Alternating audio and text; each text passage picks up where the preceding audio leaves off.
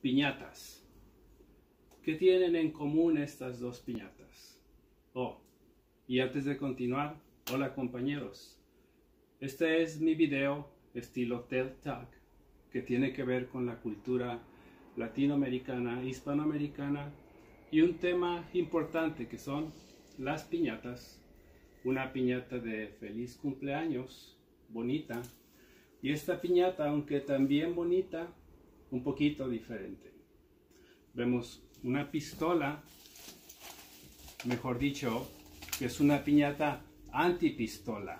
Si podemos ver el círculo rojo aquí de prohibición. Y si vemos la parte de atrás, vemos cifras alarmantes de lo que se conoce como gun violence. Por lo tanto, decidí hacer nuestro proyecto de cultura latina usando lo que he calificado como social issue piñatas o piñatas de crítica social. Y bueno, antes de continuar, voy a tratar de justificar en teoría eh, el porqué de hacer estas piñatas. Como sabemos, la clase del profesor Herrera nos ha pedido justificar el tema y yo pensé en las piñatas. Las piñatas en México tienen una larga tradición, tienen uh, una tradición que está asociada con la fiesta, pero no siempre fue así.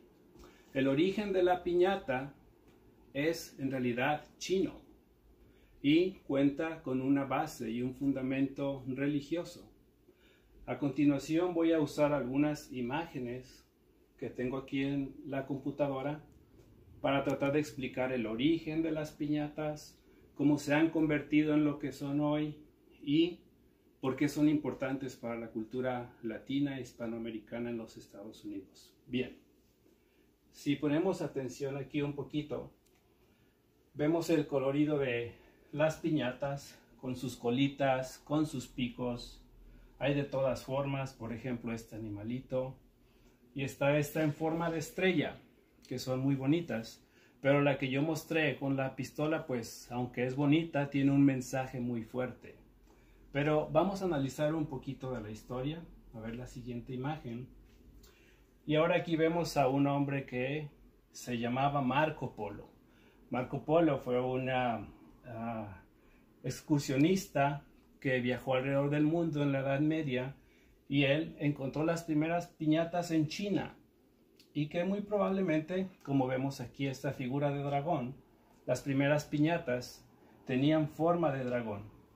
Marco Polo llevó esta tradición a Italia, donde se les conoció como la pignata. Suena conocida la palabra pignata. Después viajó a España y se llamó la piñata. De España, en los tiempos de la conquista, llegó a, pues, a nuestro México. Hay vestigios de esto, por ejemplo, la imagen que vemos ahí es la estatua de un monje de la época de la conquista golpeando una piñata. Esta estatua se puede encontrar en Alcomán, Estado de México. Y continuando con las imágenes, pues ciertamente la piñata tiene un simbolismo religioso dentro de la fe cristiana o católica. Se dice que los picos representan ah, los pecados, que el palo tiene una representación de libertad y que cuando se rompe la piñata, pues entonces se liberan los pecados y ahora lo que cae de la piñata son las virtudes. La siguiente imagen es, ah, digamos, una imagen híbrida de la piñata. Esta es una tradición yucateca donde se acostumbra despedir el año viejo con una piñata que se quema o se apedrea.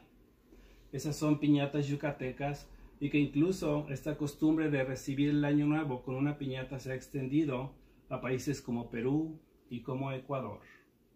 Y continuando con esta historia, lo que vemos aquí es una imagen de una pintura de los más famosos pintores mexicanos, Diego Rivera.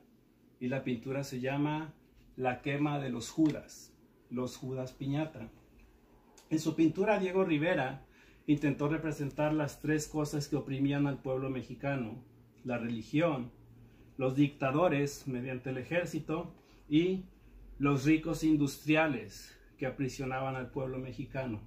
Y Diego Rivera pintó la destrucción de esas piñatas como una forma de liberar al pueblo mexicano.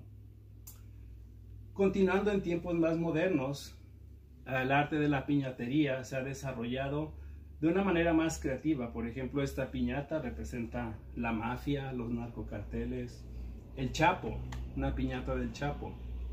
Esta es una piñata del expresidente mexicano Vicente Fox. Y pues continuando, vemos aquí la quema de una piñata de Enrique Peña Nieto, el expresidente mexicano. Incluso las piñatas han adoptado a temas sociales como en España, que se quemó una piñata Judas para protestar contra la violación eh, masiva de unas muchachitas en la región de, de Nurcia, España. Y bueno, ahora aquí les puedo mostrar maneras fáciles de hacer una piñata con materiales que se tienen en la casa, globos, papel de periódico, cajas. El, objetivo de mostrar los materiales con los cuales se puede hacer una piñata es que se reduzca el costo de estas. Ahora, ¿qué tal la motivación a nuestros alumnos? Podemos usar imágenes abstractas para ayudarlos a hacer piñatas con crítica social, como la de la pistola. Por ejemplo, el Guernica puede usarse para ah, una piñata contra la guerra, una piñata contra el bullying, una piñata contra el machismo? ¿Qué tal una piñata contra el tráfico humano? ¿Qué tal una piñata contra el racismo? ¿Qué tal una piñata para detener el cáncer? Otra piñata contra la violencia con las armas, para el egoísmo, para el SIDA, homofobia y esa choice. ¿Qué tal una piñata contra la homofobia? Una piñata contra el odio, una piñata contra la intolerancia religiosa o para detener el, el abuso de los animales.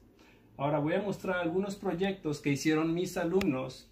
Esa es la piñata que ya vimos contra las pistolas. Esta es una piñata titulada ah, ¿Qué está matando las abejas? Y es una abeja y una botella de spray muy creativa. Esta es la exposición de todas las piñatas, una piñata contra la violencia animal, muy bonita. Una piñata para criticar el abuso de las drogas, una piñata contra el alcohol. En fin, los proyectos valen la pena para nuestra clase. Podemos de esta manera hacer que los chicos tomen una tradición histórica, una tradición de miles de años que, ha existido en México, que llegó a España ah, por los conquistadores y que viene desde la China y podemos continuar pues con la piñata mexicana, pero con un tema de crítica social. Gracias.